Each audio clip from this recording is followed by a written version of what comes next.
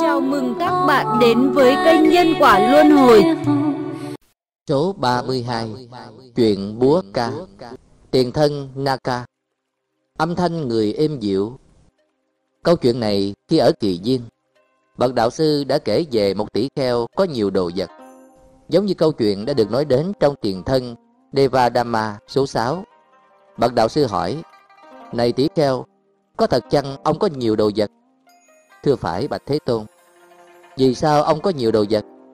Nghe đến đây Tỷ kheo ấy phẫn nộ, Quăng bỏ y trong áo choàng, Đứng trần truồng trước mặt bậc đạo sư Và nói, Tôi sẽ thoát y như thế này.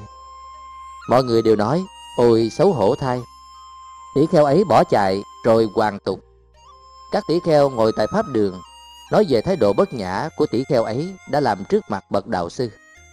Bậc đạo sư đến và hỏi, Này các tỷ kheo, Nay các ông ngồi họp tại đây Bàn câu chuyện gì?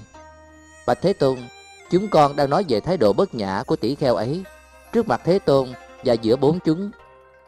Từ bỏ tàm quý Đã đứng trần truồng như một đứa trẻ ở làng, Bị quần chúng ghét bỏ. Vì ấy đã hoàn tục từ bỏ giáo pháp. Bậc đạo sư nói, Này các tỷ kheo, Không phải nay tỷ kheo ấy mới không có tàm quý Từ bỏ pháp bảo. Trong đời quá khứ Kẻ ấy đã từ bỏ vợ báo của mình. Nói vậy xong Bậc đạo sư kể câu chuyện như sau. Thuở xưa trong kiếp thứ nhất Các loài thú bốn chân tôn sư tử làm vua. Các loài cá tôn cá thần Ananda Và các loài chim tôn ngỗng trời Suvanna, kim nga. Con gái vua ngỗng trời Suvanna Một ngỗng trời con rất đẹp Được vua ban cho một ước nguyện Nàng ước nguyện được một tấm chồng theo sở thích của mình. Vua ngỗng trời làm theo ước nguyện của con Cho tập hợp tất cả loài chim tại núi tuyết. Từng đàn chim đủ loại như ngỗng trời, chim công vân vân. Lũ lượt bay tới tấp Tập hợp trên một cao nguyên bằng đá lớn.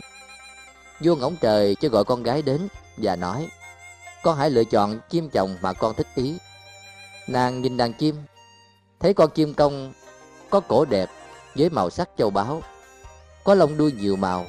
Liền chọn con chim ấy và nói, Con chim này sẽ là chồng con.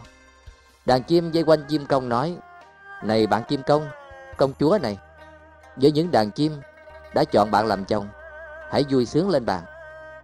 Con chim công quá sung sướng nói lớn, Cho đến hôm nay, Các người chưa thấy sức mạnh của ta. Rồi giữa các đàn chim, Bỏ mất tàm quý, Chim công xòe cánh ra, Bắt đầu múa. Và khi múa nó không che thân.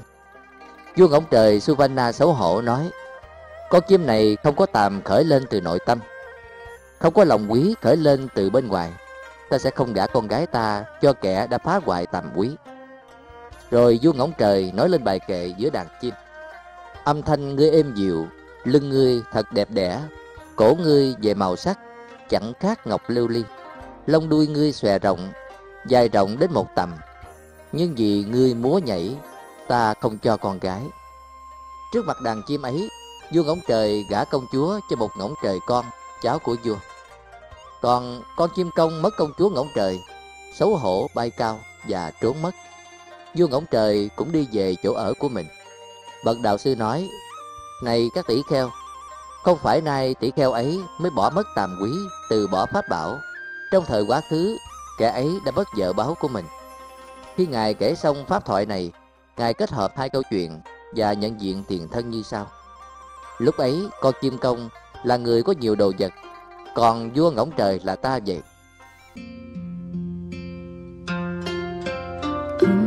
ha ha ha, 问三摩地所